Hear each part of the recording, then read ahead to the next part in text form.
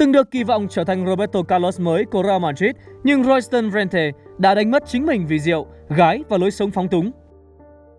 Drenthe bắt đầu sự nghiệp của mình tại quê nhà Hà Lan trong màu áo của Feyenoord tại giải U21 châu Âu 2007, màn tỏa sáng rực rỡ trở thành tấm vé đưa Drenthe cập bến đội bóng Hoàng gia Tây Ban Nha vào mùa hè năm đó với giá 14 triệu euro cùng một ngôi sao đồng hương khác là Wesley Sneijder.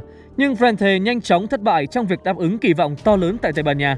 Trong 3 năm ở sân Santiago Bernabeu, cầu thủ được mệnh danh là Roberto Carlos mới chỉ ra sân vỏn vẹn 65 trận và sau đó liên tục bị đem cho mượn ở Hercules và Everton trước khi ra đi tự do sau khi hết hạn hợp đồng với Madrid vào năm 2012. Cầu thủ người Hà Lan đã ký hợp đồng với đội bóng mới được thăng chức của Nga là Alania Vladikavkaz. Mặc dù động thái này là tốt về mặt tài chính, nhưng Drenthe nhanh chóng vỡ mộng với cuộc sống tại Nga. Nằm gần biên giới Georgia, Vladikavkaz thiếu những tiện nghi như Drenthe đang tìm kiếm. Trong một cuộc phỏng vấn với đài RTV của Hà Lan, cầu thủ này chia sẻ, Vladikavkaz không phải là nơi lý tưởng. Đó là một thành phố bị phá hủy hoàn toàn bạn không thể làm bất cứ điều gì vui vẻ mặc dù có rất nhiều tiền. 6 tháng ở đó khiến tôi mất đi một nửa sức lực, không phải bởi vì thi đấu mà là vì rượu vodka, thứ rượu mà tôi uống liên tục khi cảm thấy chán nản. Tôi có thể dùng nó ngay khi vừa mới thức dậy và uống để đi vào giấc ngủ. Nhưng tôi không uống một mình, những đồng đội của tôi ở Nga thậm chí còn uống nhiều hơn. Chúng tôi nhậu nhẹt ngay trên xe buýt của đội, mỗi khi di chuyển cùng nhau hay khi đá sân khách. Tất nhiên là có những loại rượu khác, nhưng vodka vẫn là chính, Trente cho hay. Đồng đội cũ của Trente, Cicinho tiết lộ cầu thủ người Hà Lan đã uống 10 cốc bia mỗi ngày ở Real Madrid và thậm chí còn say sưa tập luyện. Anh là một bậm rượu đích thực. Trente chỉ chơi 6 trận cho Alania, ghi 3 bàn trước khi trở lại Anh với Reading. Tuyển thủ Hà Lan một thời hiện đang khoác áo Real Murcia.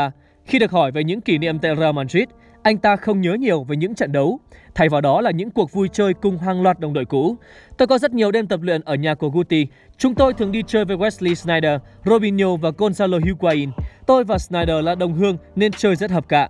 Higuain thì thỉnh thoảng mới đến để cùng uống rượu. Chúng tôi vẫn tập luyện, vẫn ăn trưa cùng với nhau. Cuộc sống ở Real không có gì đặc biệt, thậm chí nó không chuyên nghiệp hơn Feyenoord. Sự cạnh tranh giữa những cầu thủ ở đây vẫn vậy, chỉ khác là mức độ cao hơn. Đẳng cấp của những cầu thủ Real thực sự khủng khiếp. Họ chơi khỏe mà đá cũng hay, không thể theo kịp.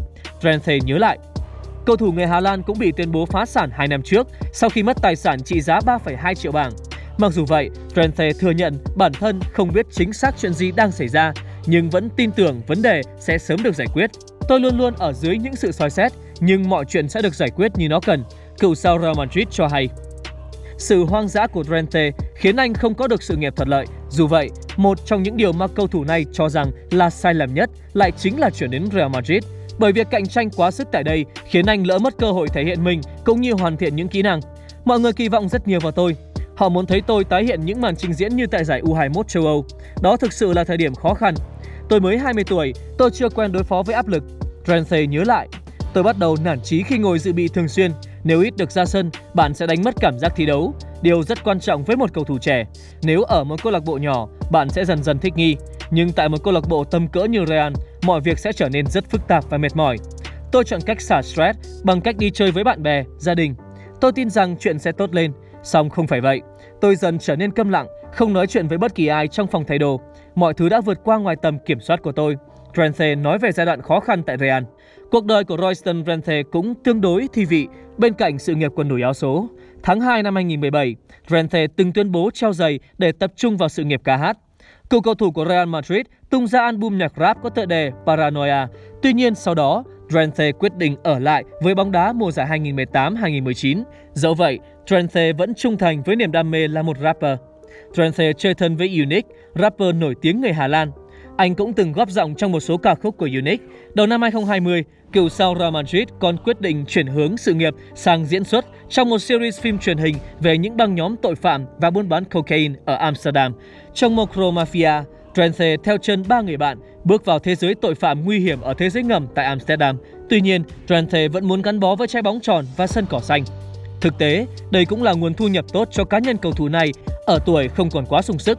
Bóng đá với tôi là niềm đam mê, tôi sẵn sàng chơi ở một giải đấu thấp để kéo dài cơ hội chơi bóng, cầu thủ 35 tuổi chia sẻ.